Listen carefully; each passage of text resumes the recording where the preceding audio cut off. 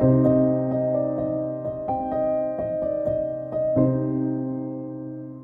there, it's Sandy Allnock, and I'm going to talk about five stamping inks for watercolor. And I'll be using a brand new stamp set from Ellen Hutson with these beautiful flowers.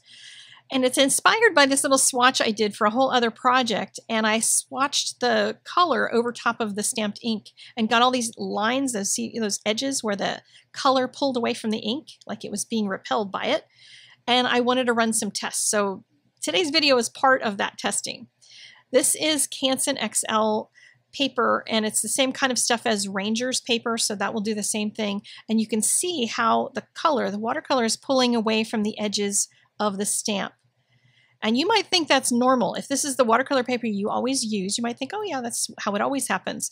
And you can push the color around and try to fuss with it, but as it dries, it just dries away from the line and you end up with kind of a little mess. But look what happens with Arches cold press. This is artist grade paper. It's 100% cotton.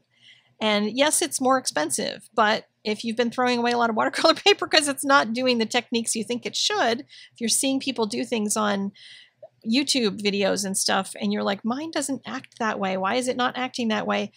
Paper is probably going to be the biggest single difference. There's, you know, I'm a big fan of good brushes and good paints, but but paper is probably your biggest wow factor in seeing a difference in your watercoloring. So I decided to test a bunch of different inks, and the rest of these tests are all going to be on Arches Cold Press, just to have apples to apples. That first one was VersaFine Onyx Black, that last one I colored, and then this one is the Ink on 3 No Line ink. And when you use No Line ink, the lines turn basically a gray color in the background. So you could paint all your details into the leaf and do all kinds of shading and make it look beautiful and you won't have a stamped line on the outside of it. And lots of people love that look. This one is an ink that might surprise you, Lawn Fawn's Jet Black. And I use that for my Copic and you can use it for watercolor.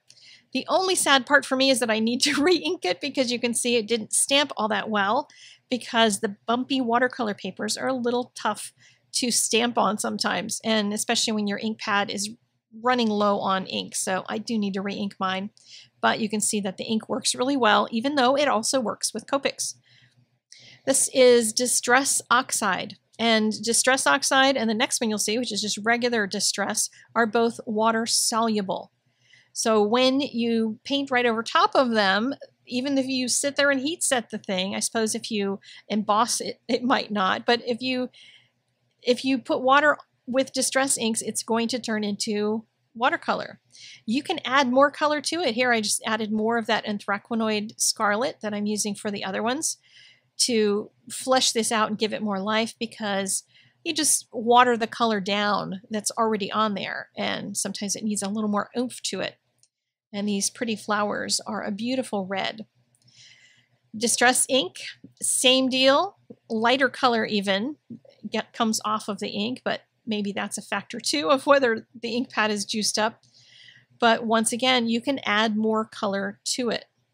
You could also, with distress ink or oxides, you can stamp it once, put it in your MISTI, leave it there, do all of your painting, and then go back afterward and stamp it with a black ink on the top of it all. And that way you get all the softness of all of this painting portion, and then you get that crisp black edge if you want it. Just wait till it's completely dry. And that can work as well. So next I want to talk a little bit about shading. Just I know there's going to be some beginners who are going to watch this and I want to talk about how to get some dark colors blended in and how I'm going to approach that. I've got my anthraquinoid scarlet, which is the lighter red. This second one I added was perylene maroon.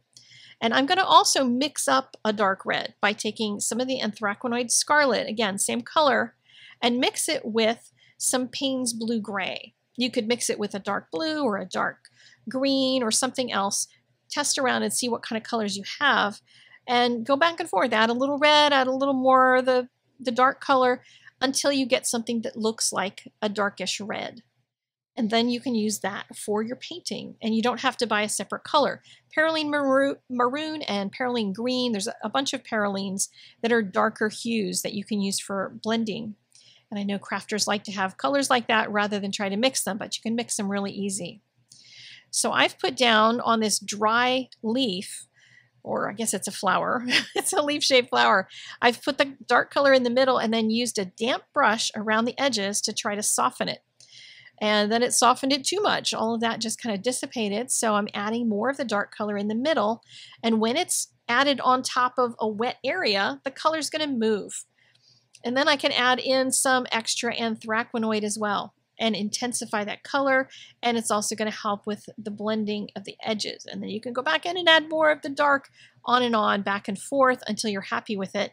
But just watch when you add a whole lot of water to something, a whole lot of paint like this, watch that it does not end up with blooms in it. And blooms are when all of the water, like you've added one swoosh of something that had more water than everything else in it, and the water separated everything out. So you get a weird blobby thing. So I watched these and tended them carefully so that I wouldn't end up with those kinds of blooms to them. So on this one, I'm not going to wait for it to dry first it's summer and everything's drying really quickly, so I had to work quick and put the dark color in while the rest of it was still wet. And that little turn of the leaf in the very front was already dry. That little light pink area was already dry. That's how fast things are drying at my house. It's crazy painting right now in this hot summer. But I'm just lifting now color. I've rinsed and cleaned my brush, just kind of wiping off some of the excess water so I'm not adding water to this and I can lift up color around that lip if there's anything there, or I can go back into any of the other color that's already wet. This bottom leaf was soaking wet because I put so many layers in it.